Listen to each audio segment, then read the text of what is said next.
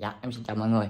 Hôm nay em sẽ giới thiệu với mọi người một cây à, lắc xích rất là đẹp luôn nha mọi người. Một cây lắc xích của Nhật. Đây Cây này nó có tên là Arazu S 506 nha mọi người. 506 Arazu S 506 Và hiện trạng là mặt tớp rất là đẹp. Đây Có một cái vết xước dài ở đây Nhỏ xíu thôi. Đó. và ở dưới này do do bị uh, do mình vào dây á thì có một số cái vết cấn nhỏ, nhỏ ở đây ha. Không ảnh hưởng gì. Chất âm rất là khủng nha mọi người. Chất âm rất là khủng. Đấy. hiện trạng là đẹp. Và mặt tết này không khác gì cây mới đâu mọi người. Mọi người à, chơi lắc xích đó thì à, cũng biết là nếu mà mặt tết này mình chơi ở ngoài đàn mình để ở ngoài nhiều á thì mình cái mặt tết nó sẽ sậm màu đi ha. Và cây này là mặt tớp còn trắng tinh luôn thì đồng nghĩa với việc là người ta bảo quản rất là tốt người ta chơi xong người ta để vô khay vô hộp cứng người ta cất. Đó, thì cái màu nó vẫn giữ nguyên được như vậy trong vòng mấy chục năm.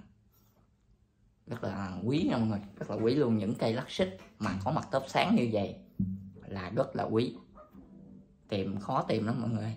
À, không phải là không có nhưng mà có thì giá của nó sẽ cao. Một là giá sẽ cao còn hai là là mình kiếm không được cái dòng mình yêu thích mặc dù là có nhưng mà không không đúng cái dòng của mình yêu thích.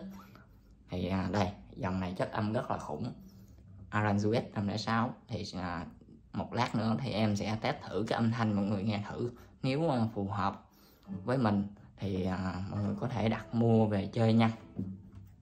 Đây khóa là khóa ghiên nha mọi người. Cần đàn rất là liền lạc luôn. Cần đàn liền nè. Gót cần nè. Cần rất là liền. À, em gõ nhỏ nhẹ thôi nè.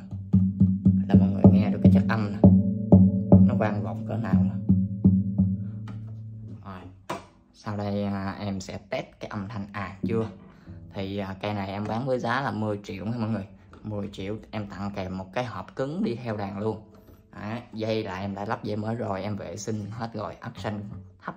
Ắc xanh em đã chỉnh lại thấp. Mọi người muốn thấp nữa vẫn được tại vì cái con ngựa nó vẫn còn cao nè con ngựa cao mà ắc xanh đã thấp rồi thì em vẫn chỉnh xuống được nha mọi người.